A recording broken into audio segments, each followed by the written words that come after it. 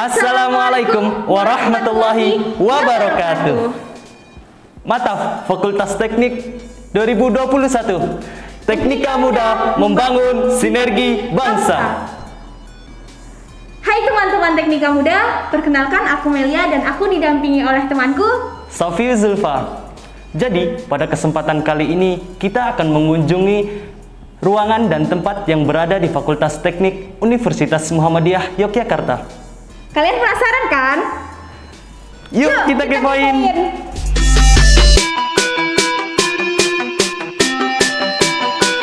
Uh, ya, teman-teman, uh, sekarang kita sudah berada di depan uh, ruangan dekanat. Uh, mari kita cari tahu tentang ruangan dekanat.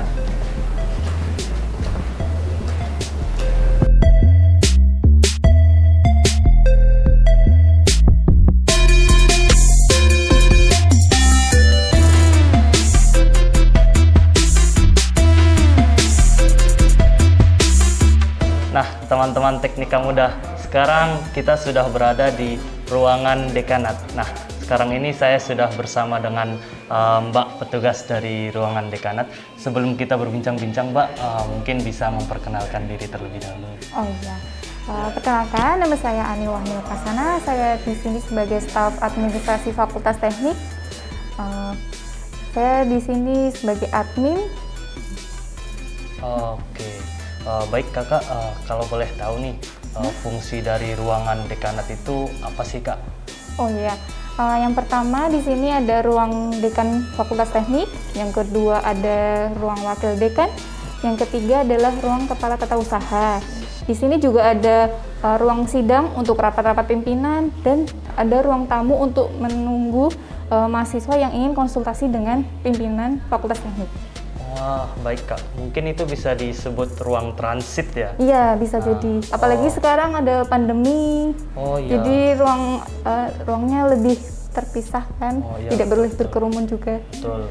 Dan tentunya mungkin uh, prokesnya tetap kuat ya, Mbak. Iya. Oh, iya. Ada hand sanitizer, jaga oh, jarak.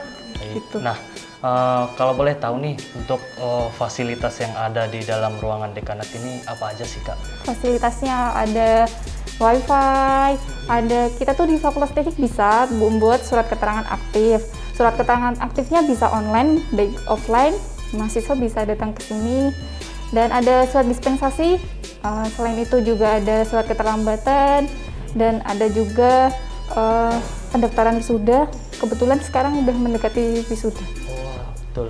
Nah uh, uh, untuk jam operasional uh, ruangan dekanat ini seperti apa ya kak? Apakah setiap hari nggak ada libur atau bagaimana? Kebetulan di Fakultas Teknik di dekanat ini jam operasional setiap hari Senin sampai Sabtu uh, pukul 8 sampai 15 WIB. Nah, baik kak. Uh, mungkin itu saja sih yang teman-teman uh, teknika muda ingin tahu. Iya. Uh, Terima kasih sudah uh, menjelaskan beberapa hal mengenai uh, ruangan dari dekanat. Gitu, iya. Mohon maaf mengganggu waktunya, baik kak. Terima iya, kasih. Sama-sama.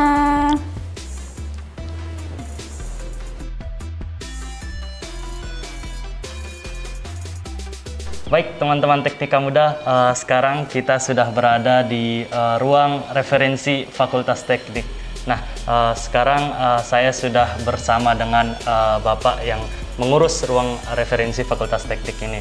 Baik Bapak, sebelum kita berbincang-bincang uh, uh, ke depannya, uh, dipermohon, uh, saya mohon untuk uh, Bapak untuk memperkenalkan diri terlebih oh, ya. dahulu. Ya, Assalamualaikum warahmatullahi wabarakatuh. Saya Nasikun Amin Imawan, uh, petugas penanggung jawab ruang referensi teknik. Ya.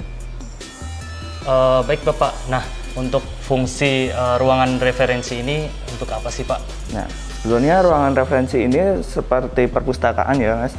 Di sini juga ada fasilitasnya ada buku uh, koleksi buku teks, jurnal dan uh, tugas akhir yang nantinya bisa dipelajari oleh mahasiswa. Dan ada lagi ada ruang belajar.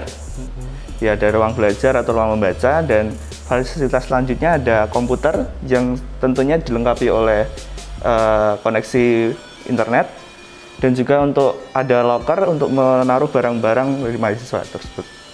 Baik, uh, kalau boleh tahu uh, di ruangan ini ada uh, jaringan WiFi nggak untuk uh, uh, mahasiswa sendiri gitu? Oh ada tentunya. Oh tentunya. Nah kalau boleh tahu nih Pak, uh, uh, waktu uh, berkunjungnya mahasiswa itu uh, bagaimana Pak? Apakah dari pagi sampai malam atau dari pagi sampai sore? Oh, Bagaimana iya. Pak? Untuk jam operasionalnya bisa dimulai dari jam 8 dan tutup jam 3, jam 15. Ya, jam 3 sore. Uh, itu setiap hari atau ada liburnya Bapak? Oh, setiap hari, liburnya hari Minggu. Oh, berarti dari Iya. Senin sampai Sabtu Iya. seperti itu ya. Iya. Ah, ya baik Bapak, mungkin itu saja yang bisa saya ah, cari tahu mengenai ruang referensi Fakultas Teknik ini. Terima kasih, maaf sudah mengganggu. Iya. Mari Bapak. Iya. Jadi seperti itu teman-teman ah, ruang referensi ah, ah, kita ah, sebagai mahasiswa Fakultas Teknik bisa berkunjung ah, di ruangan ini untuk ah, membaca, mencari inspirasi-inspirasi di dalamnya. Baik, kita lanjut ke ruangan selanjutnya.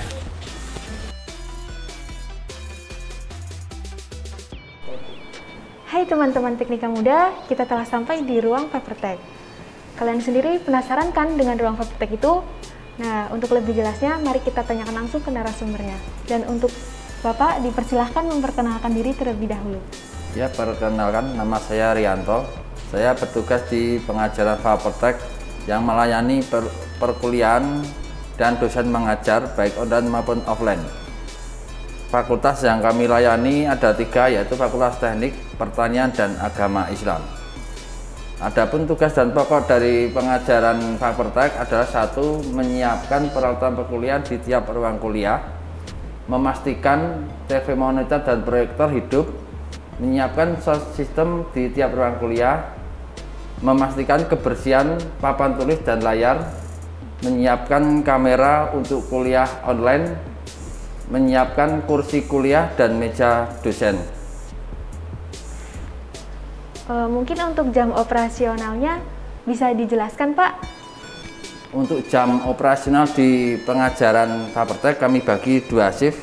Shift pertama dimulai pukul 6.30 sampai dengan jam 13. Untuk shift kedua dimulai dari jam 12 sampai jam 18.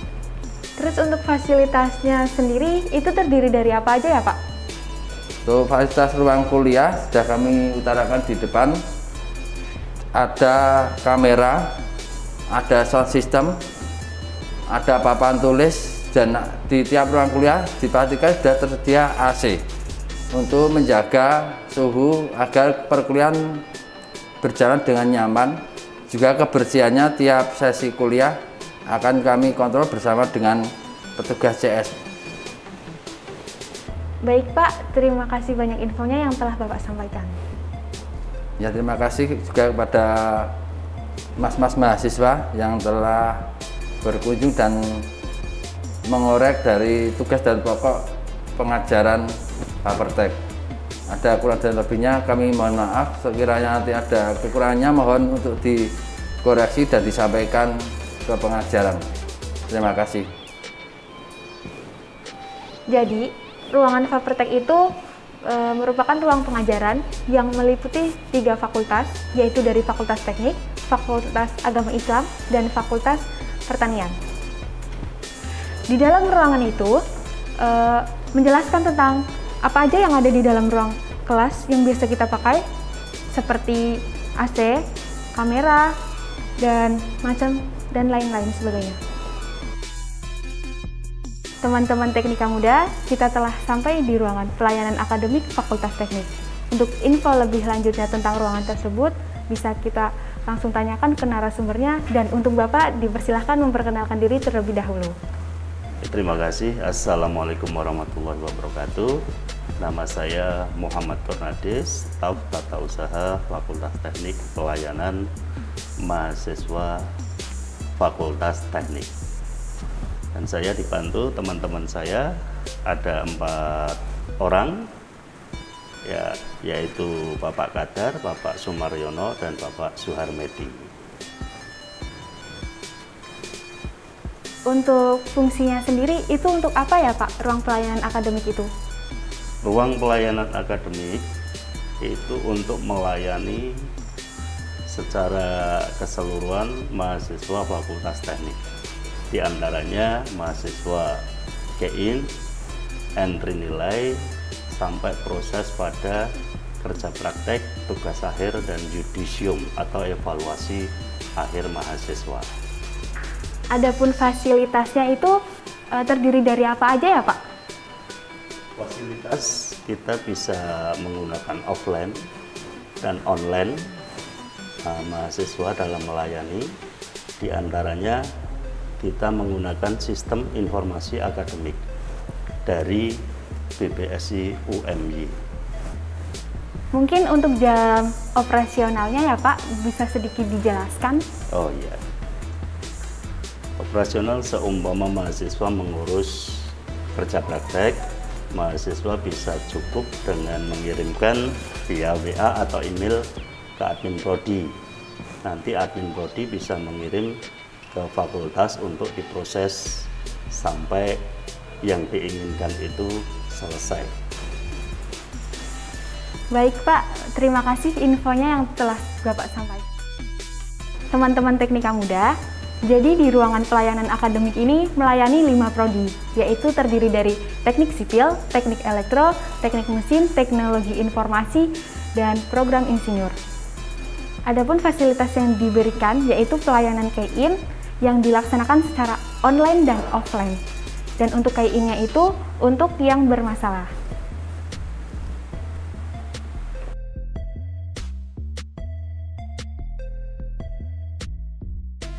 Nah, Nah. sekarang kita berada di ruang Stadium Jenderal Fakultas Teknik. Nah, ruangan ini tuh biasa dikenal sebagai ruangan SK. Kalian kepo kan? Yuk kita masuk. Yuk kita masuk.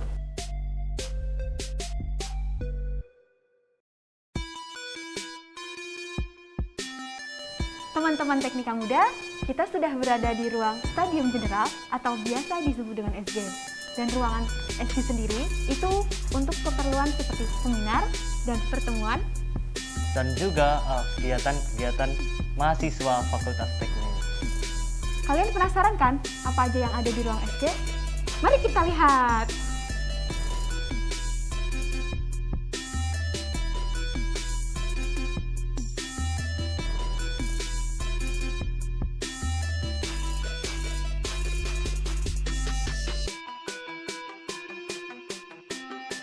Nah, teman-teman Teknika Muda, kita telah sampai di ruang sekre lembaga.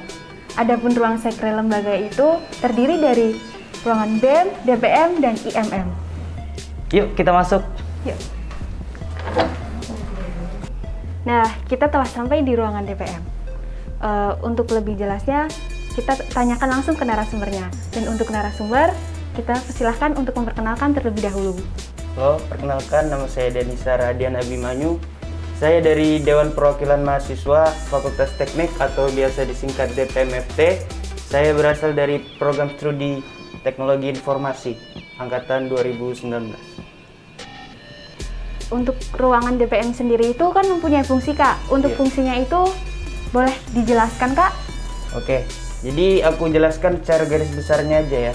Yang pertama, Sekre DPM ini digunakan untuk administrasi, di mana di Sekre ini undangan atau surat masuk keluar masuk dilakukan di Sekre. Yang kedua itu ada untuk inventaris. Di sini bisa kita lihat ada beberapa inventaris seperti plakat-plakat hasil dari buah tangan eh, kita kunjungan dari DPM fakultas maupun univers- universitas lain. Yang ketiga itu untuk ruang koordinasi. Jadi kita bisa rapat, lakukan rapat di sini, kemudian juga berbincang-bincang bersama anggota. Untuk kegiatan mahasiswanya di ruang DPM itu seperti apa ya, Kak? Ya kayak biasa sih kita di sini juga bisa melakukan rapat koordinasi ngobrol-ngobrol bersama anggota dan juga mungkin kalau misalnya capek lelah saat kuliah bisa mampir ke sini buat tidur sebentar gitu. Ya buat senyamannya aja lah untuk anggota. Terus untuk jam operasionalnya itu jam berapa ya aja ya, Kak? Untuk operasionalnya biasa kita dari jam 7 sampai jam 3 sore. Oke, Kak. Terima kasih, Kak, untuk informasinya. Ya, sama-sama. Eh, jadi, teman-teman, di ruangan DPM ini, misal kita capek habis kuliah, kita bisa mampir ke sini. Tetapi, syaratnya kita harus menjadi anggota DPM terlebih dahulu. Nah, teman-teman teknika muda, sekarang kita sudah berada di ruangan Sekre KMFT, BEM KMFT. Uh, jadi di sini saya sudah bersama dari kakak dari BEM. Uh, Halo teman-teman. Uh, sebelum kita berbincang-bincang lebih jauh, mungkin uh, kakak dari BEM bisa memperkenalkan diri. Uh, halo teman-teman Teknika Muda, perkenalkan nama uh, nama abang uh, Alvin, boleh dipanggil Alvin aja uh, dari teknik elektro sekarang mewakili uh, BEM untuk membantu menjelaskan uh, ke teman-teman mengenai sekretariat dari BEM KMFT. Uh, baik kak, um, sekretariatan BEM KMFT. Nah, hmm. fungsinya sendiri itu untuk apa sih kak? Uh, untuk fungsi dari BEM uh, sekretariat BEM KMFT itu sendiri ya ada beberapa. Yang pasti yang utama BEM uh, sekretariat BEM KMFT ini sebagai tempat titik kumpulnya uh, keanggotaan BEM KMFT pada periodenya. Uh, titik kumpul itu seperti apa? Bisa untuk tempat berdiskusi, bisa tempat untuk rapat, bisa tempat untuk uh, menyusun sebuah kegiatan ataupun uh, setelah sebuah kegiatan menjadi titik transit gitu uh, untuk kegiatan selanjutnya. Uh, selain itu juga uh, Sekre BMKMFT ini digunakan sebagai tempat menyimpan aset ataupun dokumen-dokumen yang ada di BMKMFT. Baik itu dokumen ataupun uh, aset dari periode-periode sebelumnya maupun periode saat ini.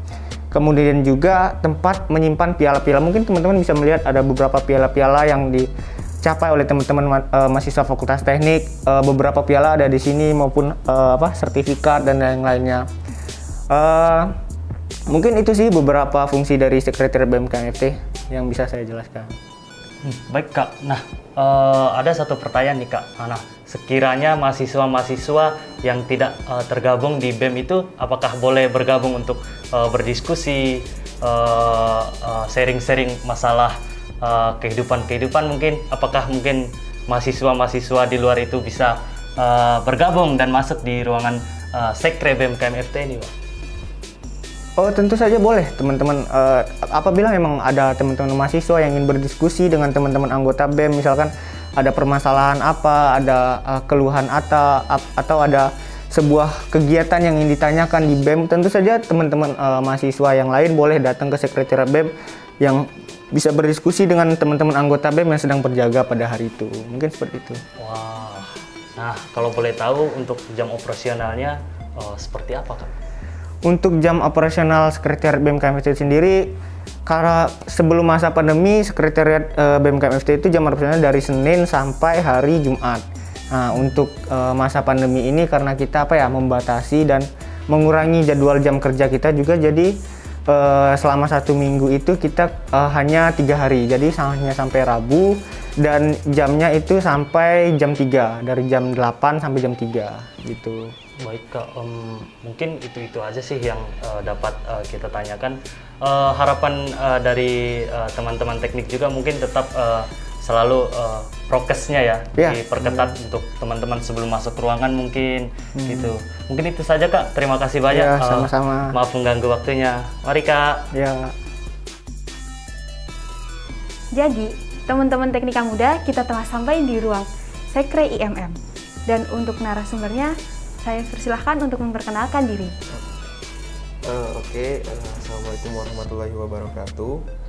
Sebelumnya perkenalkan nama saya Muhammad Iqbal, saya dari jurusan Teknik Elektro angkatan 2018. Untuk ruangan IMM sendiri itu hmm. fungsinya itu buat apa sih kak?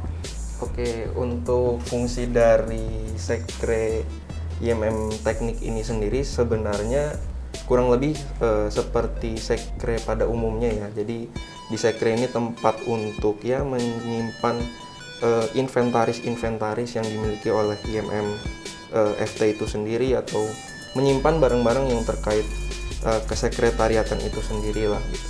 Tetapi di sisi lain selain apa ya selain untuk menyimpan barang-barang inventaris di sini juga bisa untuk ya sekedar untuk apa ya ketika semisal kuliah pagi kemudian istirahat bisa singgah dulu sejenak di sini untuk menunggu kuliah. Untuk kegiatan mahasiswanya itu seperti apa ya kak uh, di ruang sekre IMM sendiri? Oh, oh kalau untuk di sekre ini sebenarnya nggak uh, apa ya bisa dibilang jarang dipakai untuk eh, melakukan kegiatan kemahasiswaan di sini karena kita lebih eh, sering memakai eh, tempat di luar gitu, misalnya untuk mengadakan sebuah diskusi atau apa. Tetapi kadangkala kalau semisal a- ada kegiatan yang mendadak, kita juga pernah mengadakan rapat di sekre ini juga pernah. Seperti itu. Mungkin untuk jam operasionalnya bisa dijelaskan Oh, juga ya kak. Kalau jam operasional ya dari Senin sampai Jumat itu sampai asar. Kalau untuk hari Sabtu itu cuma sampai jam 12 siang. Seperti itu. Baik kak, eh, terima kasih atas informasi yang telah Siap. kakak sampaikan. Jadi, teman-teman teknika muda, ruangan IMM itu sama seperti ruangan sekre pada lainnya, yaitu untuk menyimpan inventaris-inventaris setiap sekre. Eh, tidak cuma itu, tetapi juga bisa untuk tempat singgah setelah selesai kuliah saat kita capek. Tetapi ya, sarannya itu tetap satu, kita harus tetap menjadi anggotanya. Nah, Nah. ini nih tempat terakhir dalam kunjungan ruangan dan tempat di Fakultas Teknik Universitas Muhammadiyah Yogyakarta, yaitu Taman Batu.